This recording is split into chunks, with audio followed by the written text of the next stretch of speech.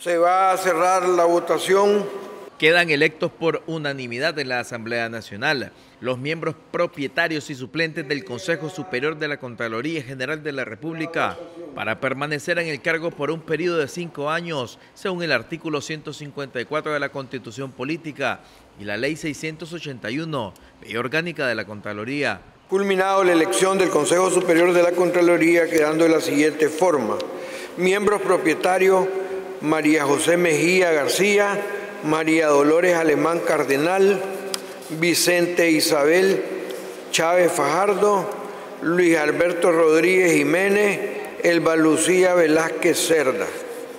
Y como miembro suplente, Cristian de Jesús Pichardo Ramírez, Lorena Concepción Valle, Sotomayor y María Laviana Herrera Marenco.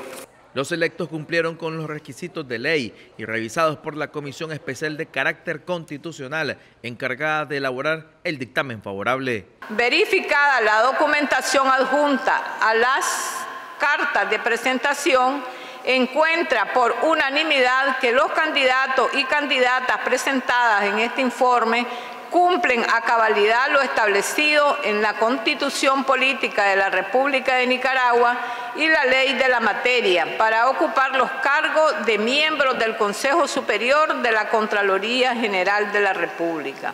Solicitamos al plenario considere el presente informe y se proceda con la respectiva elección.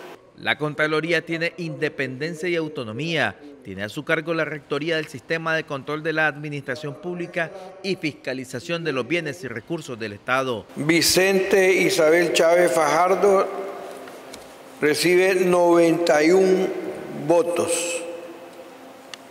Queda electo